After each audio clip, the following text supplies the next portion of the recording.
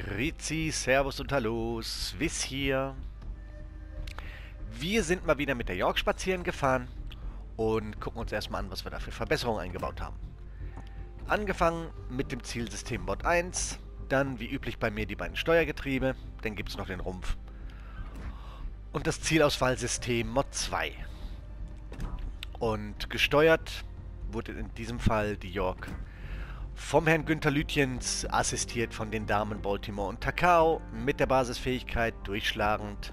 Dann haben wir Genial, volle Kraft voraus, Raussteckgeschwindigkeit, steuerbar und vollständig verpackt. Ja, und schadenstechnisch und auch sonst ist uns da wirklich eine coole Runde gelungen. Und wie die gelaufen ist, das gucken wir uns jetzt an. Bis gleich. So, da sind wir also im Gefecht. Und das ist Take 6 mit Nachvertonung, weil ich jedes Mal irgendwo einen Fehler wieder loslasse. Also, der sechste Versuch. Vielleicht bringt es ja der. So, wir fahren die York auf Agil. Ähm, brauchen wir auch, denn wir möchten uns ja mit unseren Gegnern kräftig anlegen. Und da sollten wir der eine oder anderen Salve ausweichen können, müssen, sollen, tun. Sonst sind wir relativ schnell wieder weg. Ähm, Im gegnerischen Team erwarten uns eine Chipsmascha, eine Nürnberg, eine Dallas, eine Weimar, Fidschi, Andrea Doria, California, King George und eine Serov. Hinter uns würde theoretisch ein Schlachtschiff äh, stehen, das aber stillschweigend stillschweigt. Der macht gar nichts. No. Also zumindest nicht für uns. Somit fahren wir mal alleine Richtung C. Und ähm, ja, es ist schön, mal ein paar Kreuzer dabei zu haben. In meisten Spielen sind es ein, zwei. Maximal.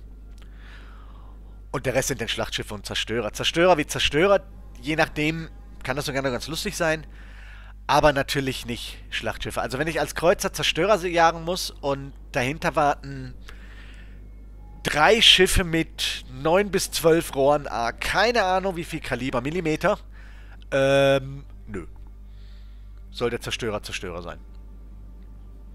Und ich habe das häufig genug erlebt, dass ich mir auf die Zerstörer gestürzt habe und mein Team hinten dran gesagt hat, oh, pff, ja, ähm, ah, Support, oh, nee, pff, du, die Kiste ist frisch lackiert, ich will keinen Kratzer haben und nee, mach mal alleine, ja, und dann seid ihr weg. Ihr kriegt vielleicht den Zerstörer raus, aber dann kommen da, was weiß ich, um die Ecke.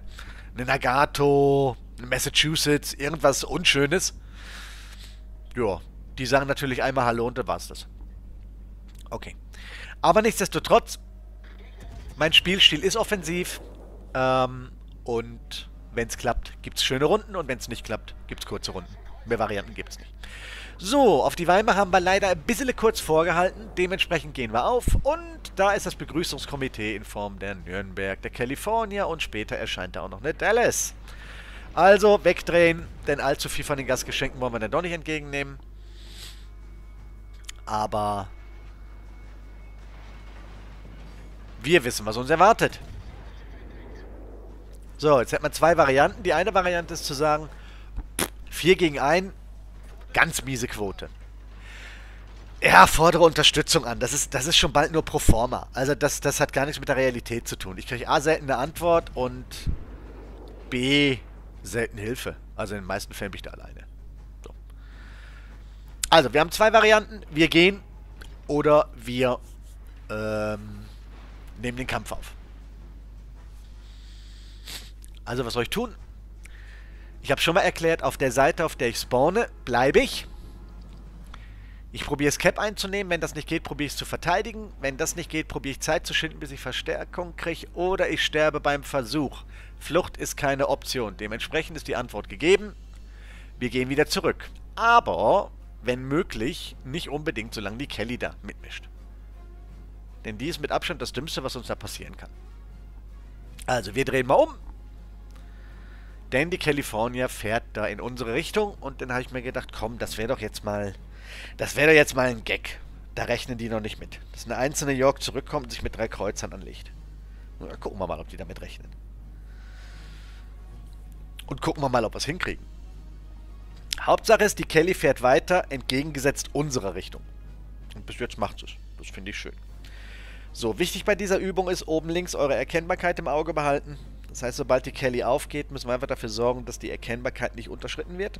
Denn sonst macht die Dame uns auf. Und das wollen wir nicht. Die Nürnberg ist da. So, die Kelly fährt richtig. Wunderbar. Bis jetzt funktioniert der Plan. Also, eine Weimar, eine Dallas, eine Nürnberg. Wir müssen die ja gar nicht alle rausnehmen. Wir müssen die nur davon überzeugen, nicht auf C zu gehen. Ne? Cap verteidigen. Gut, die Kelly fährt jetzt drauf. Aber das macht ja nichts. Ähm, wir wollen jetzt erstmal uns um diese drei äh, Kreuzerlein kümmern.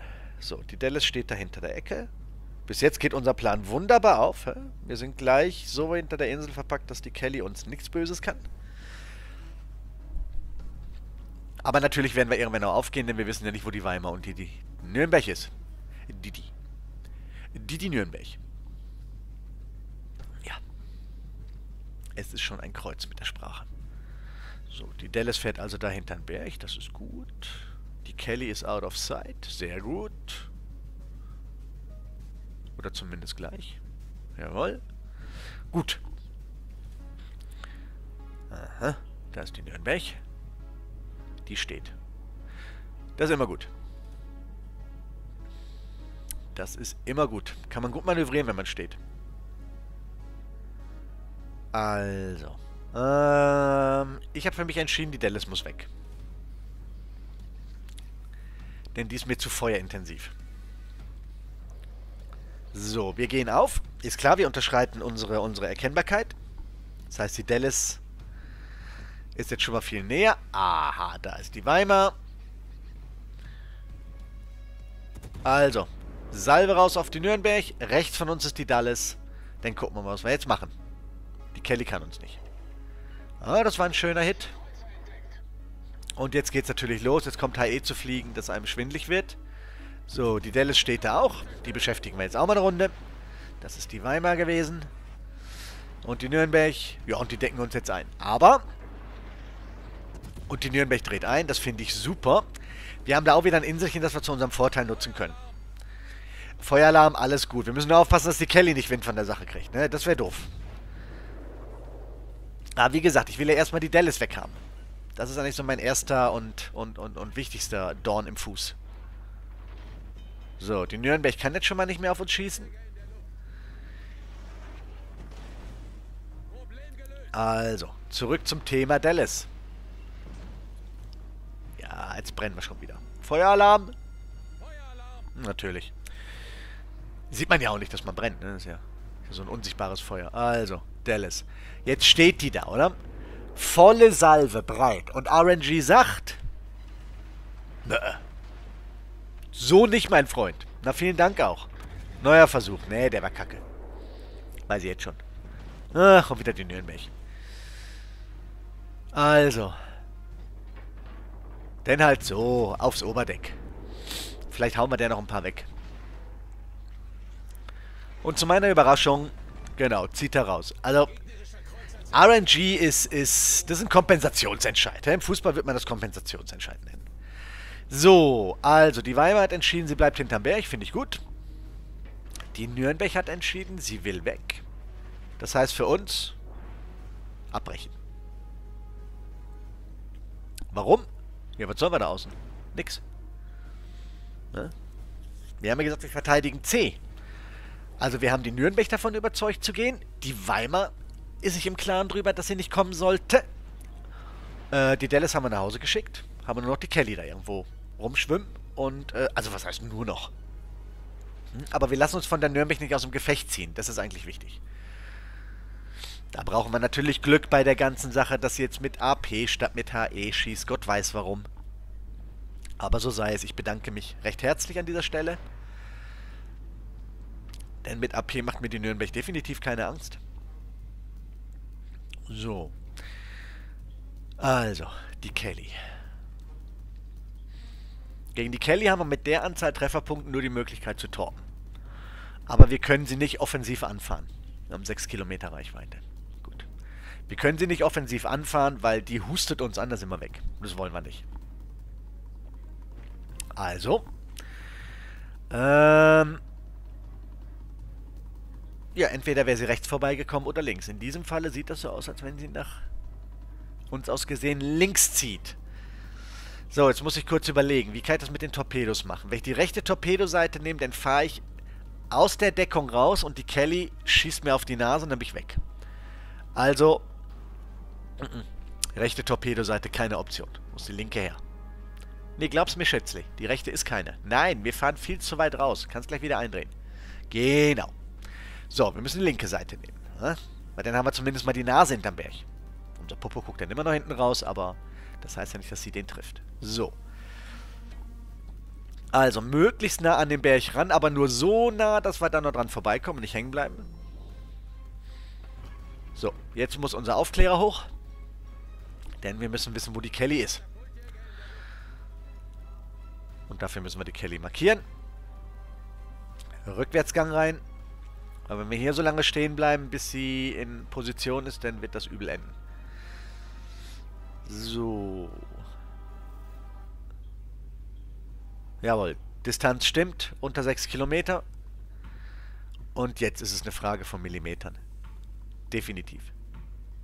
Äh, stopp, stopp, stopp, stopp, stopp, stopp, stopp. Komm, Torpedos raus, Torpedos raus und weg hier. Weg, weg, weg, weg, weg. Nein, macht sie nicht. So. Also. Jetzt heißt es Däumchen drücken, ob die Torpedos treffen. Ich hab's im Normalfall nicht so mit Torpedos. Ja, nur warten wir ab. Das kann sich immer schnell ändern. Wir fahren jetzt erstmal so weg, dass der Berg uns Deckung gibt. Eins, zwei, drei, vier. Zweimal Wassereinbruch. Dann warten wir jetzt nur noch aufs Glöckchen.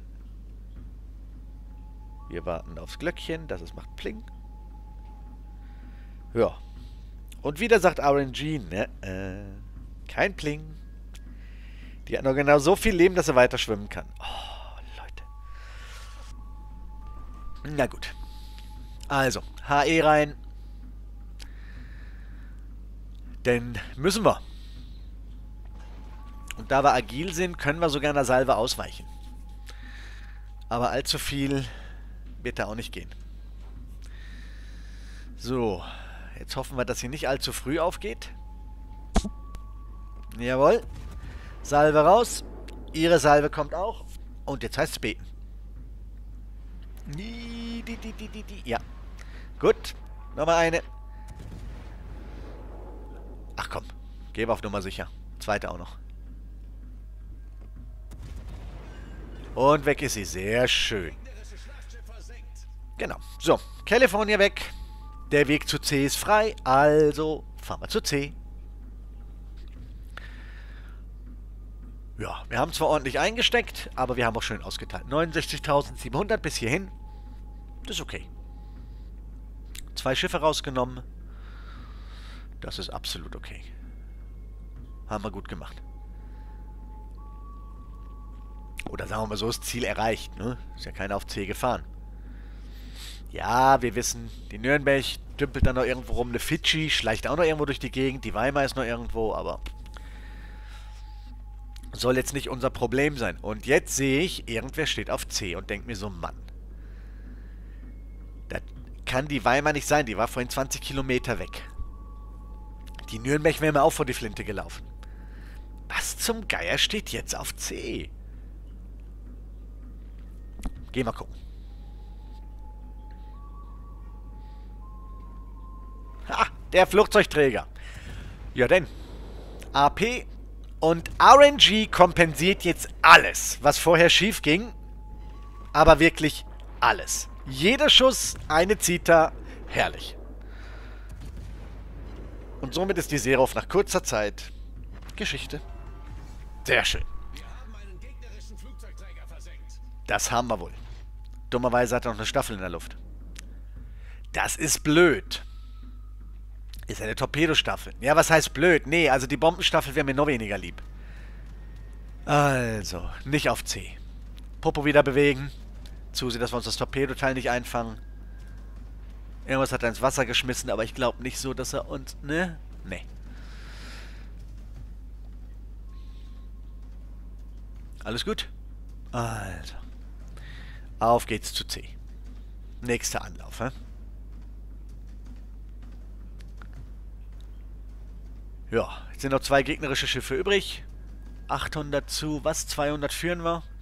Das ist schon ganz ordentlich. Und trotzdem wollte ich für meine Mühe mich zumindest mal einmal auf C platzieren.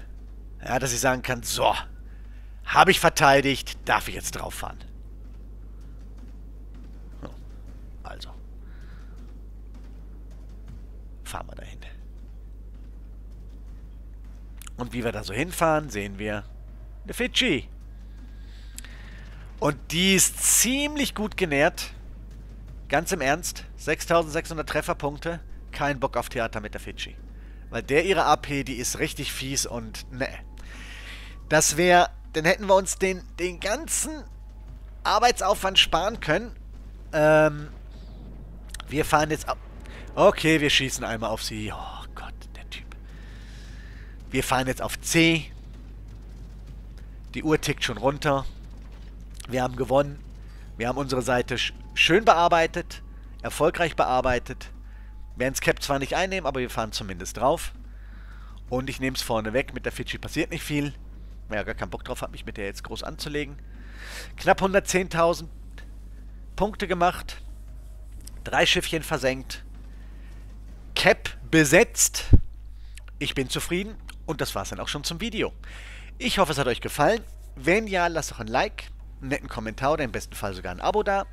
Und ansonsten wünsche ich euch wie immer alles Liebe, alles Gute, bleibt gesund und munter und wir sehen uns hoffentlich wieder im nächsten Video. Macht's alle gut, euer Swiss.